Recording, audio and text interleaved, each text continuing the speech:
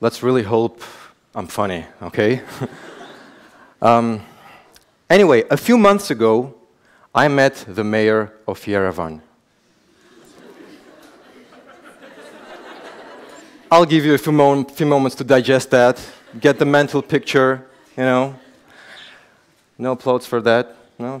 Didn't think so.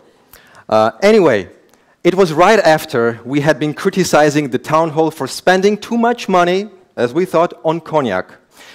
And right after that, there was the July 4 event at US Embassy. Uh, it was the party, and he was there, and I saw him, and I cornered him at one of the star-spangled tables, and I went like, sir, if you're looking for cognac, they're not serving it here. They're saving. I was so proud of myself. I don't know why, still kind of am.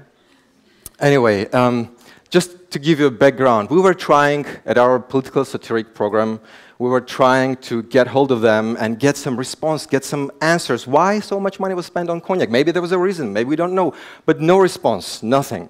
And so there he was after a few months of really, really critical criticism on our program. And uh, obviously, I expected some brutal standoff.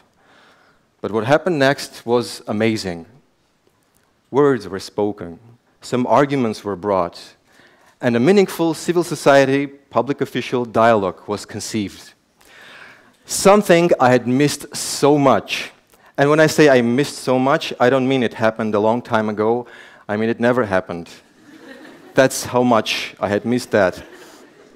And so the debate was going on, and we were talking, and he was bringing arguments. I was not buying many of the arguments, but then I realized the fact that a public official is justifying his actions, expenditures, that he's bringing arguments, was so cute and good and right. It just felt so right that I thought, um, you know, that's, that's all you need, really. It, it makes public officials look almost human at these moments, you know, of talking to people, talking to public.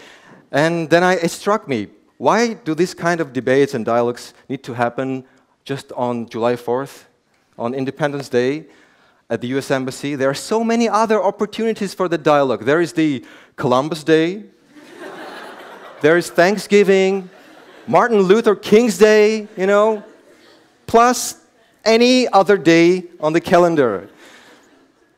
Um, so uh, just, uh, and I think I think we, we, we, can make it work. We can make that relationship work. We just need to, to, you know, to talk to each other. So today I have brought with myself uh, a few lists. Um, these are lists of mental associations that people get when they hear the phrase public official. And uh, one is the realistic list, the, the one I have observed, and one is my wish list. So first, I've brought that list. It may seem tiny, but it's really important. And uh, first is realistic list. How people react to, to this phrase, public official. So, associations. Has a nice car, is not poor, has hot secretaries, which is not bad necessarily, okay? Does, doesn't have to be a bad thing. Um, is not scared of traffic police, of traffic fines, is intimidated by reporters though, uh, has a suit that costs more than his annual salary, official salary. Again, these are just the associations. Um, is, is uh, mentioned at ArmComedy at least once a week and probably hates me. So this is the realistic list of my associations. Now the, my wish list. Can read. just kidding, just kidding. I know they, they all can read. Everybody can read. This is a pure, pure joke. Yeah. Competent, would be great. Um, has competent secretaries, I mean, could be hot, no, coincidentally, but competent. Official's car has a strong logical and mathematical correlation with his salary. the kind of logical relation that even a linguist like me can perceive mathematically. Um, speaks English, will be nice, everybody agrees, right? Speaks Armenian, this one was inspired by watching long debates at the parliament, you know. They're really good if they master this language. uh, never appears on ArmComedy, and uh, doesn't hate me. No. Last one is like a personal wish. Anyway, I think, I think there's a hope, and I think uh, we actually have a lot to get hold of. We have really bright, good, efficient public officials, and they're all here today with us. So thank you, and I think that's something to start. We just need to start a dialogue. So um, I'm just going to share some of my uh, professional experience in that area.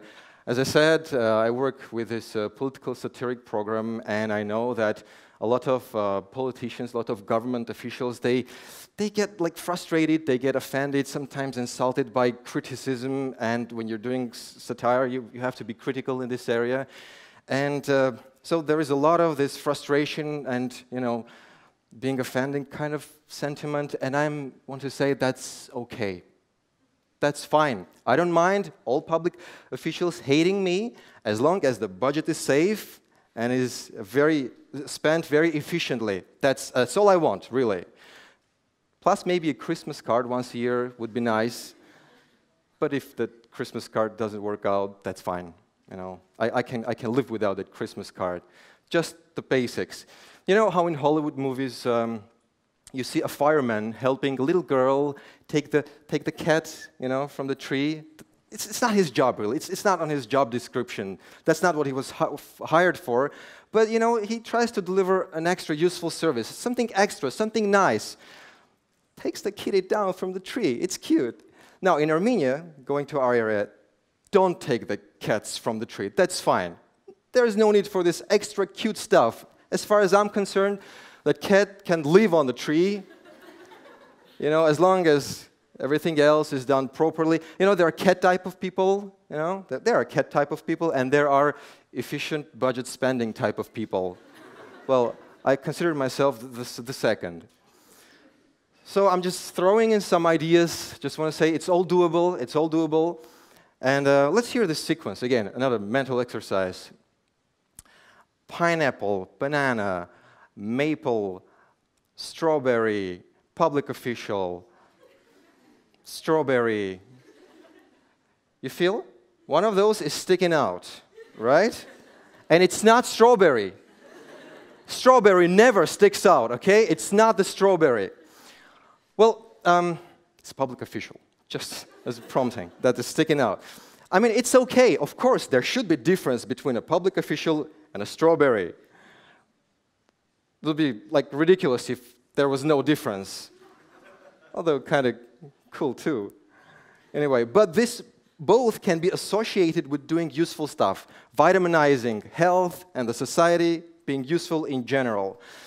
And I think we can get there. Um, I mean, uh, we, we, were able to find good, efficient officials, although it, it took moving TEDx 2015 to 2016. That's how hard it is to find good ones, good officials.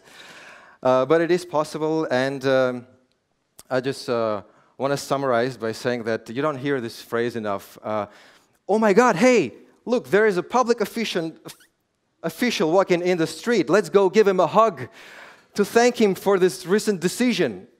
But you know what? Till recently, you didn't expect people to say, hey, let's go to TEDx and hear some public officials talking to people, to the public. And that is a reality today. So everything is possible, and I'd like to leave you with that bright thought. Thank you.